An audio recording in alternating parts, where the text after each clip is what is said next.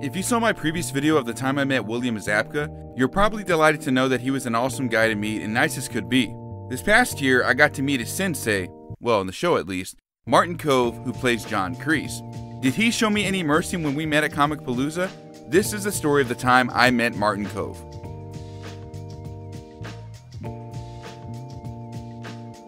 Before we get started, if you've been on the internet, more than likely you know by now there are people out there who show no mercy.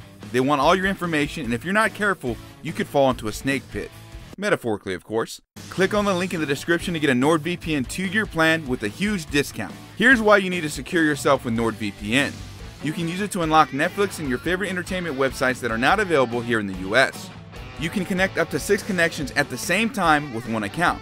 There is no data logging whatsoever, and it works even in China. If you're out and about and using public Wi-Fi networks such as airports and coffee shops, NordVPN will protect you with double data encryption for increased anonymity. So yes, you can rewatch the fight between Johnny and Daniel versus Kreese as much as you want. NordVPN works with Windows, Mac OS, Linux, iOS, and Android, has a Chrome extension which is very user-friendly and unlimited bandwidth. If you're not happy with NordVPN for any reason, there's a 30-day money-back guarantee. NordVPN won Best VPN Award and Best VPN Awards for 2020 by one of the most trusted experts, VPN Mentor. It's also the only VPN to get all the green checks on PC Mag. I mean, come on, what would entice you at this point? Terry Silver's money? Use the link in the description to get yourself secured with NordVPN. Shout out to NordVPN for giving me the opportunity to be an affiliate.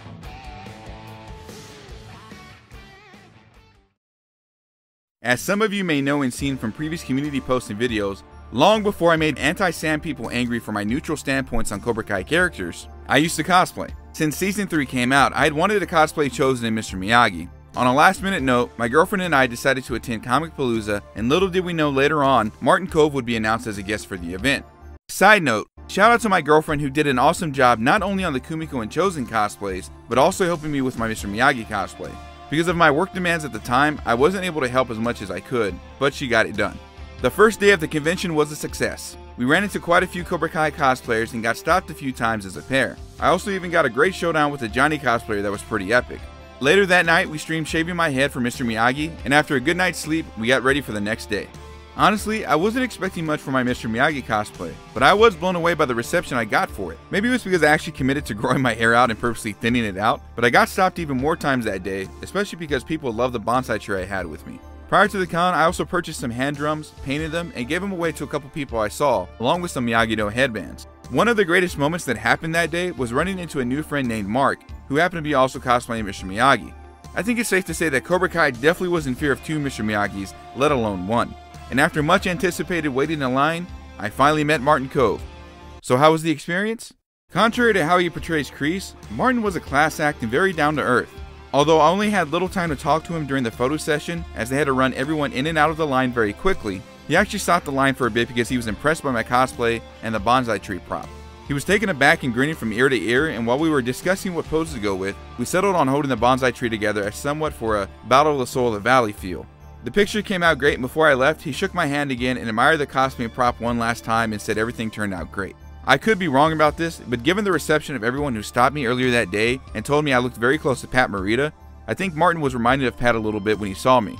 Martin was very fun to be around, and unlike my last encounter with William Zabka, who was also very awesome, I'm glad I got to walk away with the picture. On top of that, Yuji Okumoto, Chozen's actor, also liked the pictures I put up of my girlfriend and I cosplaying together, so it was definitely a nice weekend all things considered. Earlier this year, I had also wanted to try to meet Joe Seo, better known as Kyler, Ron Thomas and Tony O'Dell, Bobby and Jimmy respectively, but unfortunately things didn't pan out like they did.